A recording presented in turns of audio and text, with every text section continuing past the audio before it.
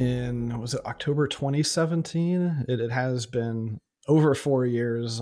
Um, when I had an incident where essentially my entire neighborhood got shut down by police. And it didn't take too long for us to uncover that it was essentially a swatting call or uh, a prank phone call, uh, as it were, but uh, one that happened to say the right words, which triggered a uh, lethal force response from local law enforcement because they thought that people's lives were in danger. So essentially, someone claiming to me, me calling uh, my local law enforcement and saying that I had killed people and had hostages and bombs and all this other stuff.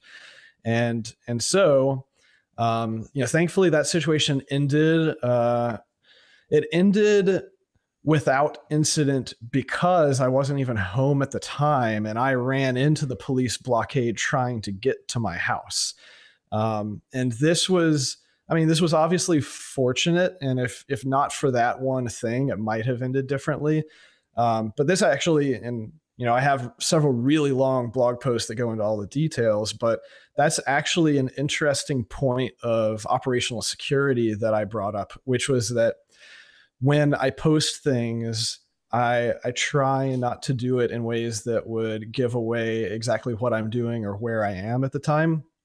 And what I believe happened that morning is that I posted something at probably 6:30 or 7 o'clock in the morning talking about it being Monday and it was going to be a long week.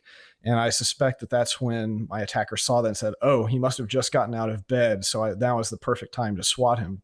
But in fact, I was already on the other side of town uh, at the gym because I'm I'm a really early riser and uh, like to work out early in the morning. And so it just so happened that you know they thought that that was a great time to swat me, and it ended up not being a great time.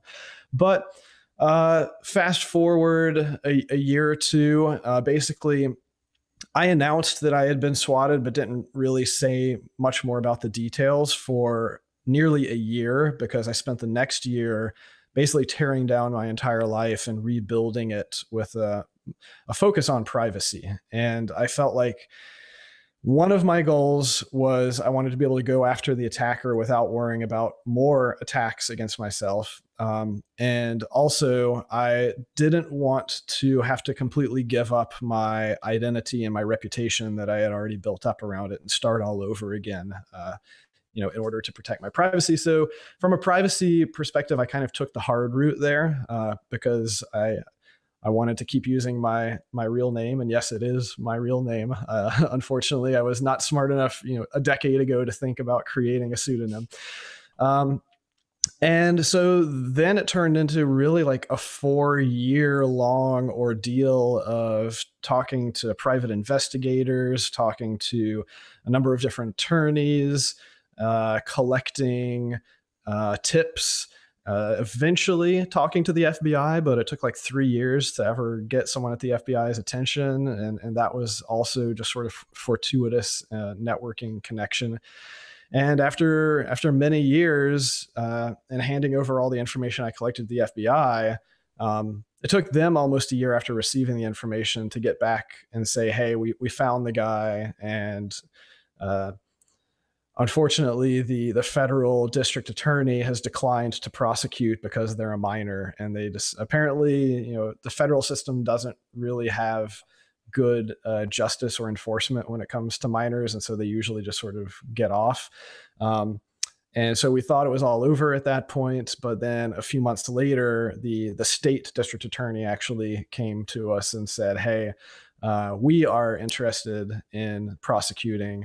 And at that point, things happened pretty quickly. Uh, the the guy in question didn't contest anything. He pled guilty to all the charges. Um, I actually ended up flying out there and giving my own witness statement. And uh, you know, he basically got probation and a handful of other terms that he has to follow by for the next few years, uh, since he did not have a criminal record. Um, so it was it was a kind of a, a weird conclusion. Like I, I really I I had hoped that it had been an adult who should have known better and been able to take responsibility for stuff. But you know, I get it. Um, I think we all do stupid stuff when we're kids. It's just it's kind of crazy that we're at the point now where due to advancements in technology and, and certain times when law enforcement and the justice system can't keep up with it, you can have these really weird asymmetries. So, you know, some like 14 year old kid who knows a little bit about tech, you know, just enough to be dangerous is able to actually have lethal force arbitrarily pointed at really anybody that they want because very few people have sufficient privacy to prevent you uh, from being able to find their home address.